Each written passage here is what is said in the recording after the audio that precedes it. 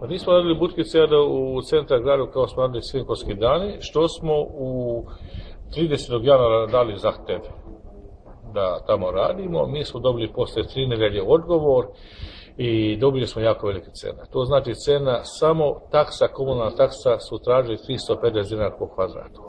To znači 40.000 dinara bi bio dnevno, jer su rekli nije za 4 dana samo, nego svaki dan 350 dinara.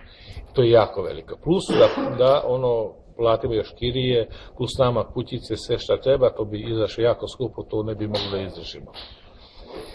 A zašto to ne znam, jer primjer u Kanjižu sam pitao, kad sam to čuo, da, li, da vidim koliko, oni su nudili nama džabe i ostali nas da sponzoriše, da tamo radimo. I opet smo na kraju odlučili, opet smo mi ovdje iz Subotice, pa da radimo na Paliću, na veliki terasu, gdje smo dobili jako povoljno i zadovoljni smo sa tom podlogom.